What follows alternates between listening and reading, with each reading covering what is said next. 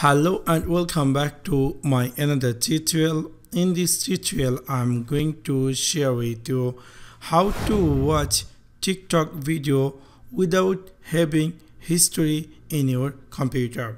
So let's take a look how to do that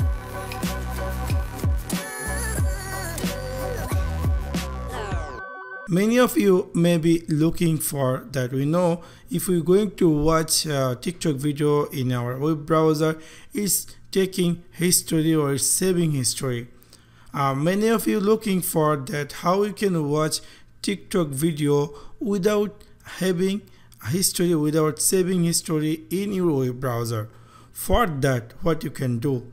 We know that google chrome there is a guest browser system. So whatever activities you're going to do it's not going to save any. So what we'll do in this case we're going to open our google chrome and then you will see there will be a three dot upper side in your google chrome. Simply choose this new incognito window. So in this window whatever you do not only tiktok whatever activities you do and whenever you're going to close this i scan nothing going to be saved in over the internet or saved in your PC.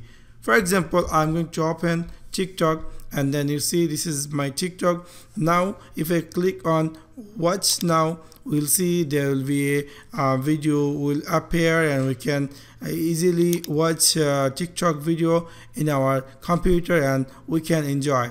But don't worry, whenever you close this screen, nothing going to save in your PC. So this is how you can easily uh, watch your TikTok video without having history in your PC. So that's for now. Thanks for watching my video. See you next one. Peace.